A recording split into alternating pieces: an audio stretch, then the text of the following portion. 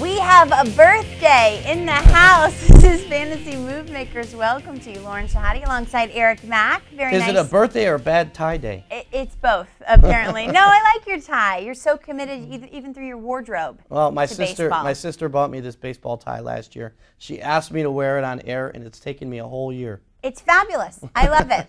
You also love these guys on this first list, so let's get right to it. Cody Ross swinging a hot stick. Juan Rivera also on that list. Three home runs in the last two games. Yeah, these are two guys that have uh, good power potential. These guys are hot for mixed leagues, and they're going to be streaky back the other way again, so you have to watch them. They're high maintenance players but when they're hot, they're, they're good enough to start in any leagues. Brad Bergesen is on fire right now for the Orioles. He might even be one of those uh, prospects that can stick in that rotation long term, not only this year, long term down the road, even in the further years. Ryan Madson's closing now for the Phillies, and that's a top contender that can get him a lot of save chances. CJ Wilson probably will lose his save chances because Frank Francisco is hoping to return this weekend. And Luke Hochevar, he had a uh, complete game his last time out. He's an elite pitching prospect, a former number one overall pick that might just now be finding himself in the major leagues. Sometimes your lineup needs a little shaking up. Those are the most added. On the other end, Michael Cuddyer, are we most worried about that right index finger, Emac, well, him he, or no? Yeah, he was scorching hot when he went on the DL with that finger injury, and it cost you for a couple weeks because you thought you had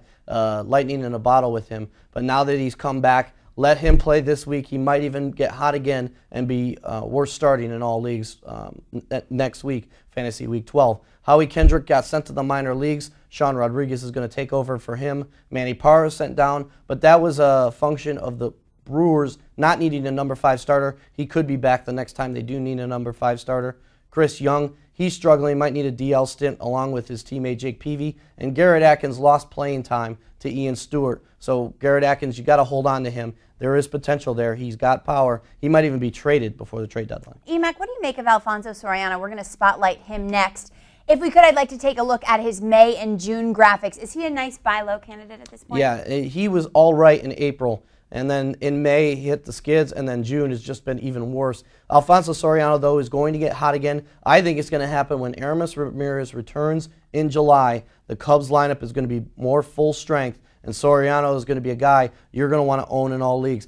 Time is now to trade for him. Okay, fantasy owners have something to look forward to with that. What about with Jake Peavy on this next list? Above all, surgery on that ankle is not being ruled out. What does that say to you? Is that a red yeah. flag, an exclamation Yeah, mark? you can't trade for Jake Peavy right now. Some of the people that have um, might have been making a mistake because there's there's no timetable for his return right now, and it might not be until next season. That's really costly for him and the Padres because they wanted to get some value out of him before the trade deadline. And then you got Jimmy Rollins and Lance Berkman. Rollins is getting hot. Berkman's been hot for a month. I'm still not sure why people are selling low on him. What are you sure about regarding John Smoltz? He's still down low, maybe going to start against the Nationals as soon as next week, right? Right, right.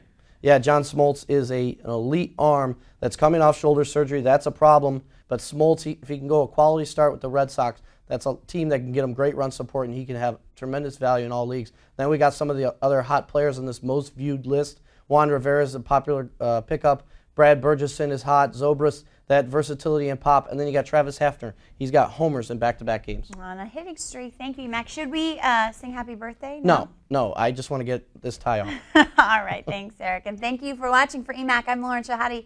We'll see you soon.